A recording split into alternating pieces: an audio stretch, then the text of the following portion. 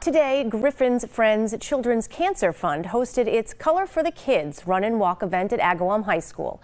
The race is aimed at providing essential support to local families impacted by cancer. For 25 years, Griffin's Friends has been helping local families who have a child receiving cancer care at Baystate Children's Hospital. Organizers say this kind of event is a unique way to help children in treatment for cancer and their families.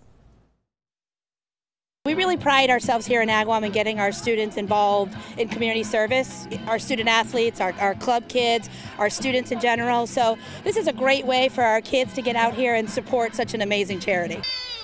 While running and walking, participants had some color added to their white t-shirts, as you can see right here. Volunteer color throwers just bombarded them with different colors.